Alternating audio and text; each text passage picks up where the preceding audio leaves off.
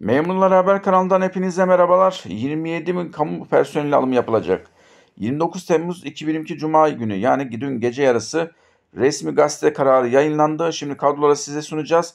Kadroları size sunmadan önce videonun altına kamu iş ilanları, TYP iş ilanları YouTube kanalımızın linkini ekledim arkadaşlar. O kanala muhakkak abone olunuz. Eğer kamuda iş sahibi olmak istiyorum. Ben özel sektörde çalışmak istemiyorum. Devlette kadrolu işçi olmak istiyorum. Devlette kadrolu memur olmak istiyorum. Devlette kadrolu öğretmen, mühendis olmak istiyorum. Diyorsan hemen bu videonun sonunda bu video bittiği anda hemen videonun altındaki TP İşkur İş ilanları ve yurt dışı iş ilanları YouTube kanalımıza abone ol. Videonun altına linkini ekledim. Önemli arkadaşlar. Gel gelelim bu videonun konusuna. Karar 2022 342 Eleman temelinde güçlük çekilen yerlerde hizmet dallarında sağlık hizmetlerinin etkili ve verimli bir şekilde yürüyebilmesi amacıyla sözleşmeli sağlık personeli istihdam edilecek hizmet birimlerinin 2022 yılı sonuna kadar uygulanmak üzere ekli listede belirtildiği şekilde yeniden belirlenmesine 17-2003 tarihli ve 4924 sayılı kanunun 1. ve 3. maddeleri gelince karar verilmiştir. 28 Temmuz 2022 Erdoğan imzasıyla bu resmi gazete kararı yayınlandı. Kadrolara bakalım. 2022 sonuna kadar sözleşmeli sağlık personeli istihdam edilecek hizmet birimleri diyor. Yani arkadaşlar şu ekranda gördüğünüz bu kadrolara alımlar yapılacak.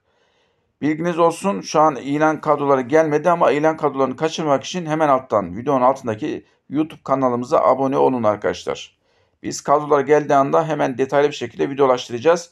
Ayrıca videonun altına şu an üniversite hastanelerinde çok fazla personel alımı var. Belediyelere ilk aklıma gelen Aydın Büyükşehir Belediyesi, İstanbul Büyükşehir Belediyelerine hem itfaiye hem zabıta eli alımları var. Üniversite hastanelerinde temizlik görevlisi, güvenlik görevlisi alımları var, sağlık personel alımları var. Videonun altındaki kamu personel alımları linkinden, belediye personel alımları linkinden, işkur iş ilanları linkinden 7-24 güncel kamu iş ilanlarına ulaşabilirsiniz. Acil sağlık hizmetlerine sağlık memuru 4 kişi, sağlık teknikeri 1 kişi, tabip 215 kişi, toplam 220 kişi alınacak arkadaşlar. Halk sağlığı laboratuvarında uzman tabip 34 kişi alınacak. İlçe sağlık müdürlüklerine, toplum sağlık merkezlerine Türkiye genelinde EB 2 kişi, sağlık memuru 7 kişi, tabip 879 kişi, uzman tabip 28 kişi toplamda 916 kişi alınacak. Sağlık evlerine 144 ebe alınacak. Yatakta tedavi. Diş tabibi 1, diyetisyen 1, ebe 1, hemşire 3, psikolog 1, sağlık memuru 27, tabip 6020, uzman tabip 19632, toplamda 25686 kişi alınacak. Yatakta tedavide de arkadaşlar hastaneler oluyor bu arada.